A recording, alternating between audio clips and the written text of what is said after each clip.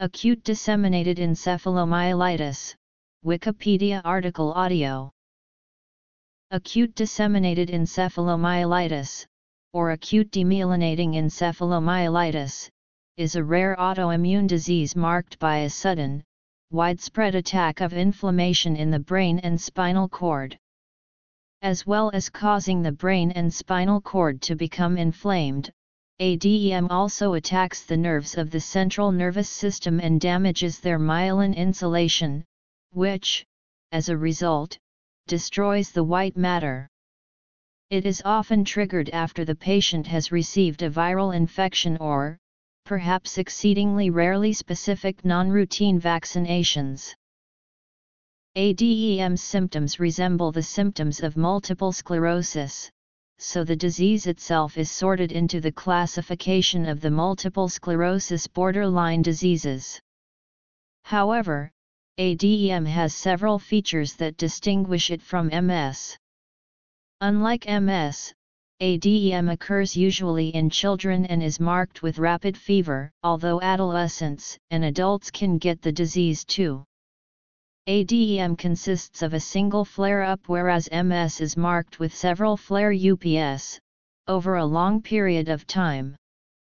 Relapses following ADEM are reported in up to a quarter of patients, but the majority of these multiphasic presentations following ADEM likely represent MS. ADEM is also distinguished by a loss of consciousness, coma, and death, which is very rare in MS, except in severe cases.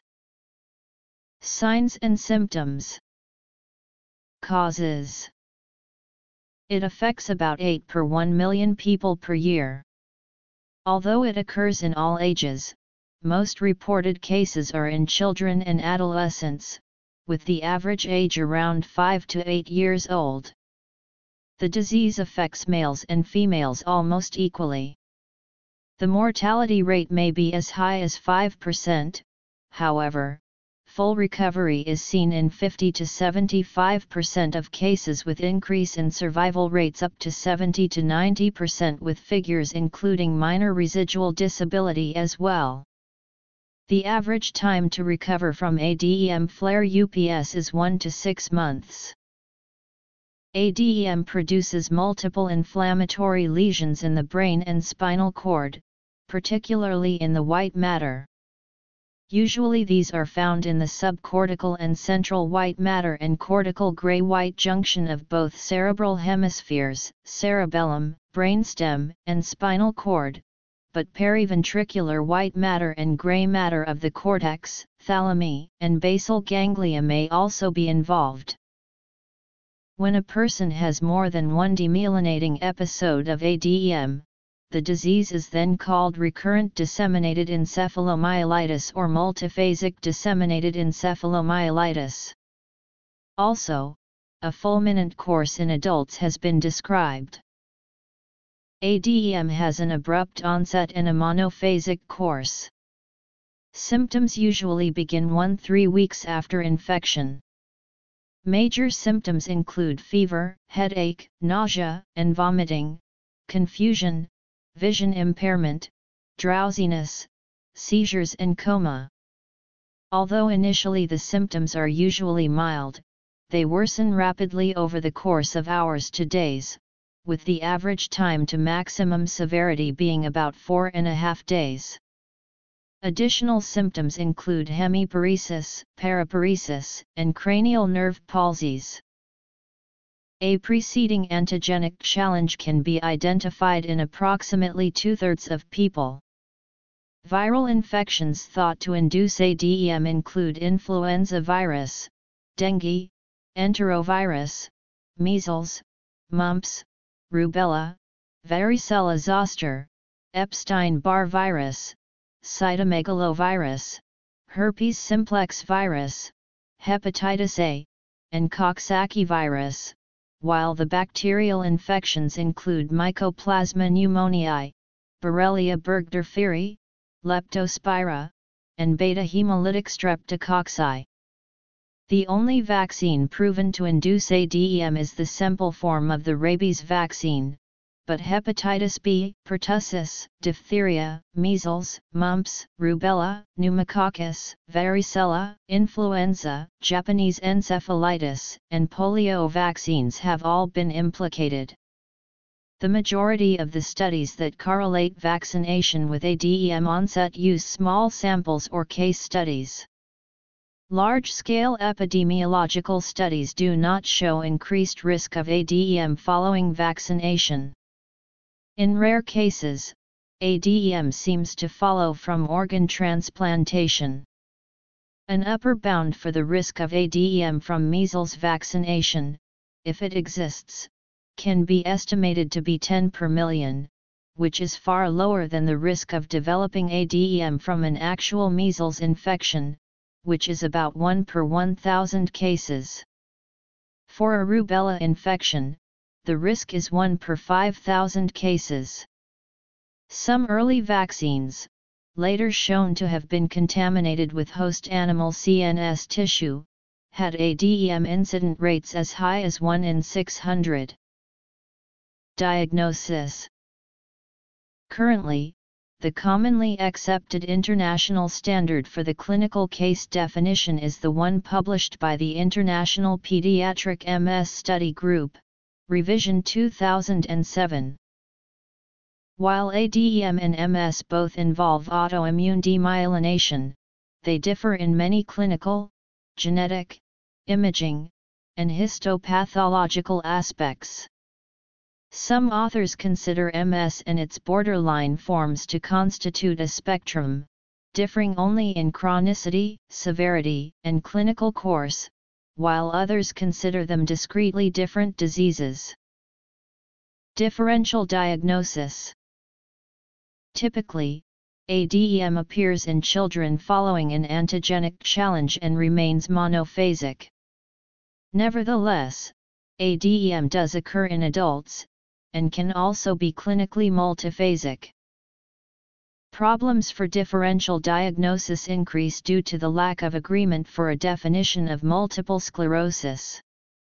If MS were defined just by the separation in time and space of the demyelinating lesions as McDonald did, it would not be enough to make a difference, as some cases of ADEM satisfy these conditions. Therefore, some authors propose to establish the separation line in the shape of the lesions around the veins, being therefore perivenous versus confluent demyelination. The pathology of ADEM is very similar to that of MS with some differences.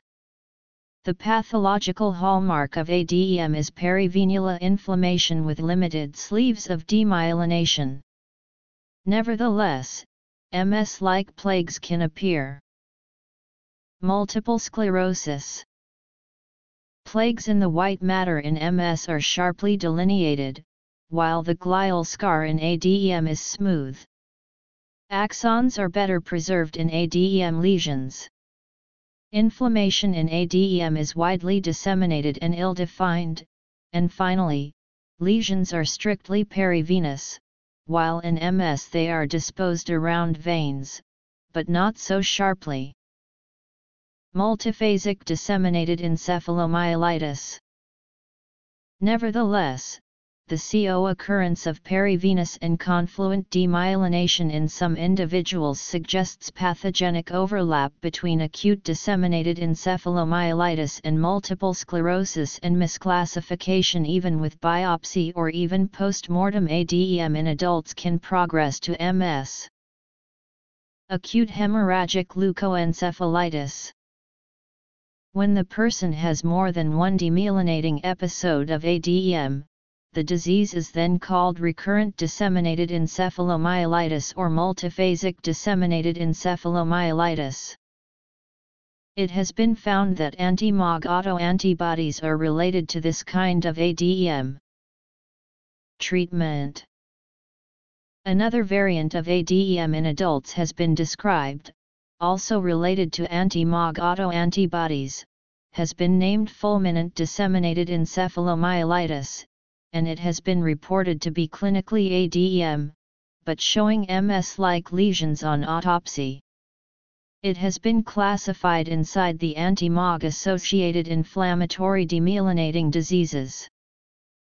Acute hemorrhagic leukoencephalitis, also known as acute necrotizing encephalopathy, acute hemorrhagic encephalomyelitis, acute necrotizing hemorrhagic leukoencephalitis, Weston-Hurst syndrome, or Hurst's disease, is a hyperacute and frequently fatal form of ADEM. AL is relatively rare, it is seen in about 2% of ADEM cases, and is characterized by necrotizing vasculitis of venules and hemorrhage, and edema.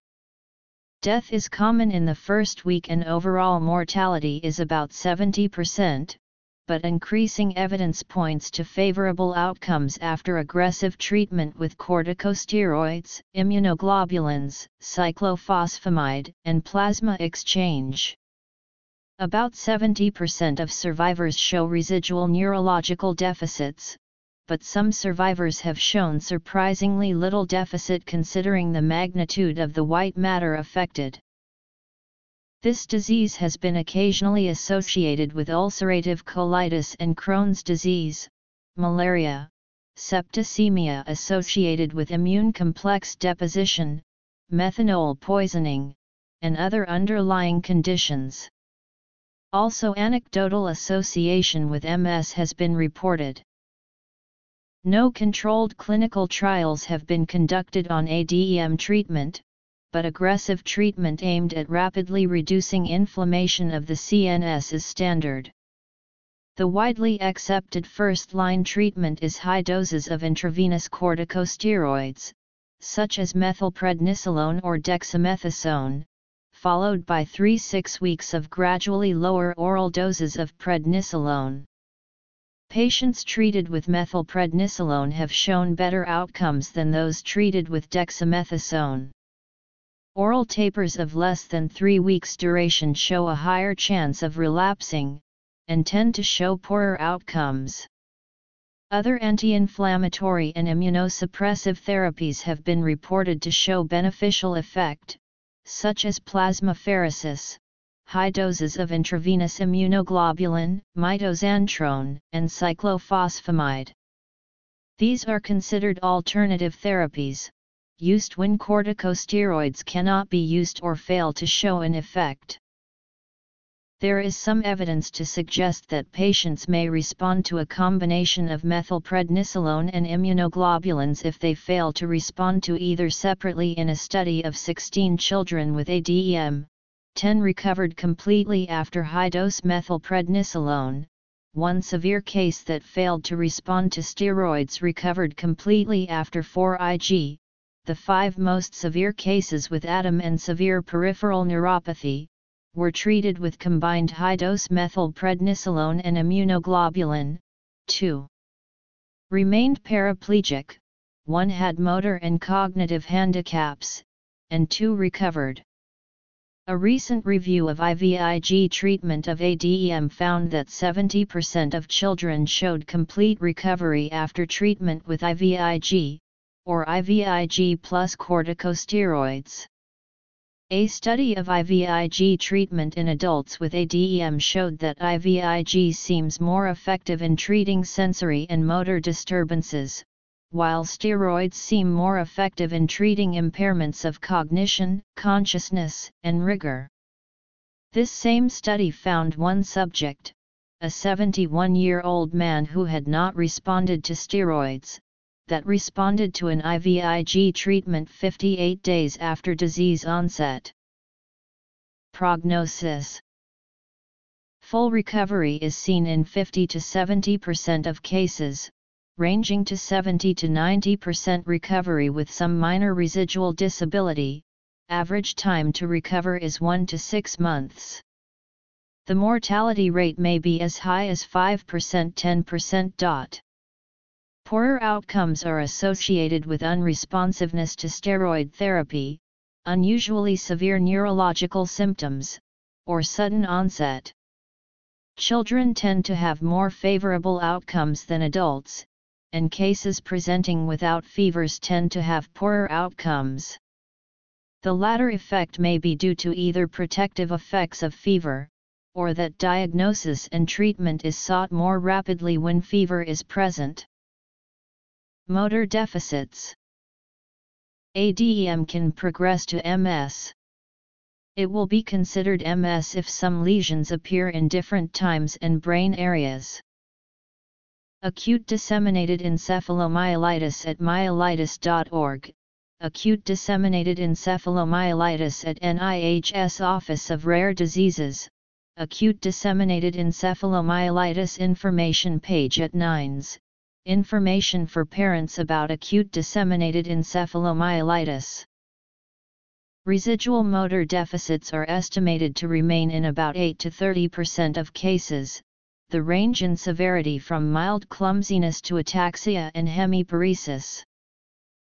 Patients with demyelinating illnesses, such as MS, have shown cognitive deficits even when there is minimal physical disability. Research suggests that similar effects are seen after ADEM, but that the deficits are less severe than those seen in MS. A study of six children with ADEM were tested for a range of neurocognitive tests after an average of 3.5 years of recovery. All six children performed in the normal range on most tests, including verbal IQ and performance IQ, but performed at least one standard deviation below age norms in at least one cognitive domain, such as complex attention, short-term memory, and internalizing behavior slash affect. Group means for each cognitive domain were all within one standard deviation of age norms, demonstrating that, as a group, they were normal. These deficits were less severe than those seen in similar aged children with a diagnosis of MS.